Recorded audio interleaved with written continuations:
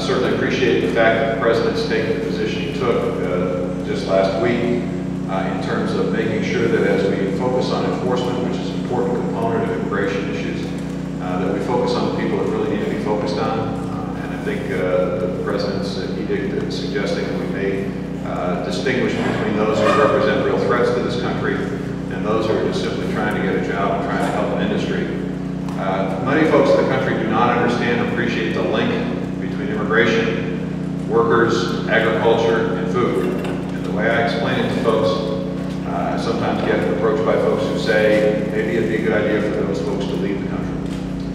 I said, well, okay, fine. I want those folks to leave the country. Here's what you need to understand. That probably 50%, maybe as high as 75% of our food is in some way, shape, or form touched by those immigrant hands. So if you ask those folks to leave the country, who is going to do the work? Uh, and the notion that somehow you could increase the wage levels to the point where others who are looking for work will take that work that's already been tried. Uh, farm workers out of California tried that last year. They ran an ad, said jobs wanted, opportunity for you to work for a pretty decent wage. Thousands of people hit the, the button on the website to find out more about those jobs. Less than 20 people took them. And this is in a state with high unemployment. Uh, the reality is if you, if you increase wage levels, that means food costs will increase. And nobody in this country that I know of that I've talked to really wants their food costs to cost more. They're interested in maintaining the advantage we have, which is relatively inexpensive and extraordinary diversity in food in our grocery stores. So I said, okay, fine. So you don't want your food costs to, to, to increase. Well, here's another strategy. How about if we import more of our food? You like that idea?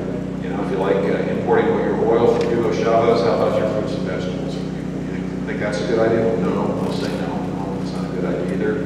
Food safety issues. Uh, we're, we're very blessed in this country with extraordinary food safety uh, from our producers all the way through our processors to the retailers to the folks at home.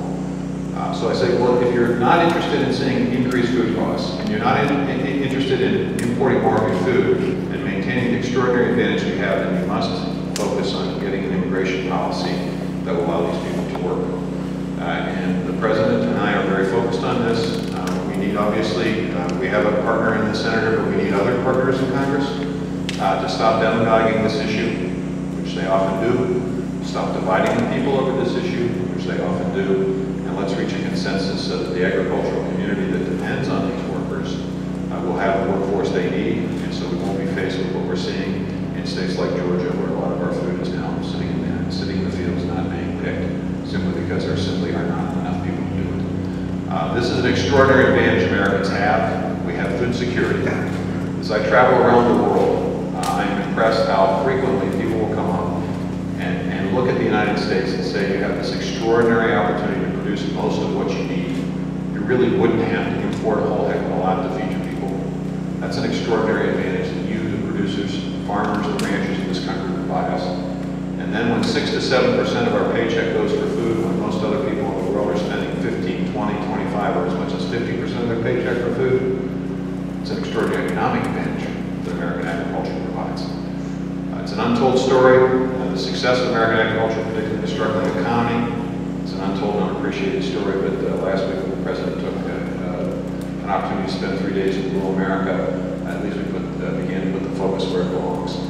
As we go into the fall, in these debates on what happens on the second round, uh, deficit reduction talks, ag will be, in my judgment, you know, disproportionately large part of what some people propose as cuts.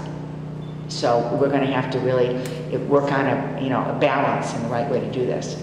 Yeah. It's going to be a tough, a very tough uh, time to be doing uh, farm bill because of the fact that we are seeing major cuts uh, to address the deficit at the federal level. We need to tackle that, no question.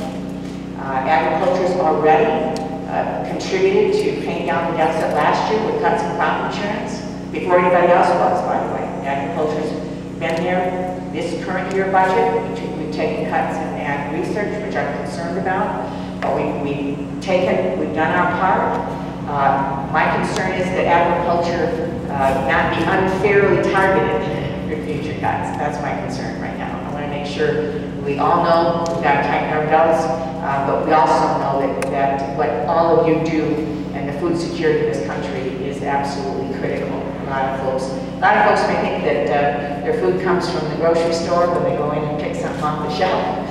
We know there's a whole lot more to it. As you know, in the last Farm Bill, for the first time, we were able to get a specialty crop title. I can't believe it took that long, but we actually, for the first time, uh, have a chapter or a title of the Farm Bill focused on fruits and vegetables and specialty crops. I was pleased to author that and we're going to make sure it stays in there and that we're able to, uh, to strengthen that uh, as well. Part of it has been our relationship, not only supporting all of you, whether it's the tree assistance program and conservation, or whether it's the special crop block grant or other research efforts, but our relationship with programs is very important.